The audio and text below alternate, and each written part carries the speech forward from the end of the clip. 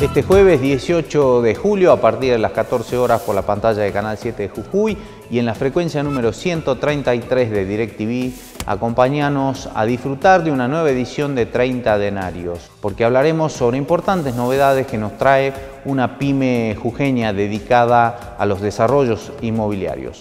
Por otra parte, hablaremos sobre el inicio de zafra de un establecimiento agroindustrial ubicado en la ciudad de La Mendieta. Este jueves te esperamos como siempre a partir de las 14 horas en la pantalla de Canal 7 Jujuy.